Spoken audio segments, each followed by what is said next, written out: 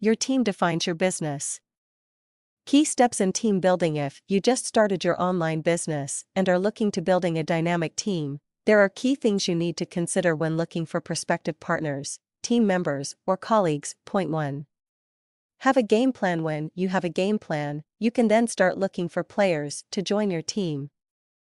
One of the reasons why most partnerships or joint ventures don't work out is because no substantial game plan was ever put in place. As the leader, you need to know the outcome you desire in your business.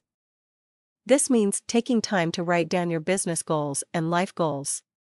By having clarity in the direction you're heading, you will immediately attract the right kind of people. Point 2. Find people who complement you. Each team always consists of different personalities, methodology, ideology, and many other things. Don't waste your time looking for people you are smarter than, Instead, look for people who are an expert in an area that you are not. By choosing such people, whenever you fall short in that area, they'll be there to pick you up. Point 3.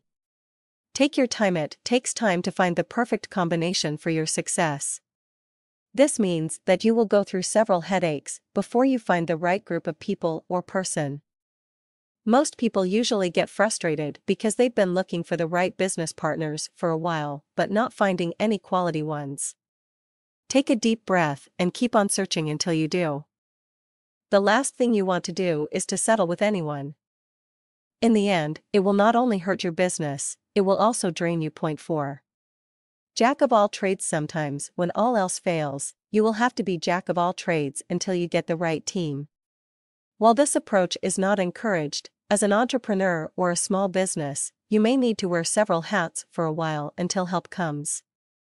Unfortunately, this means being the first to wake up and the last to go to sleep.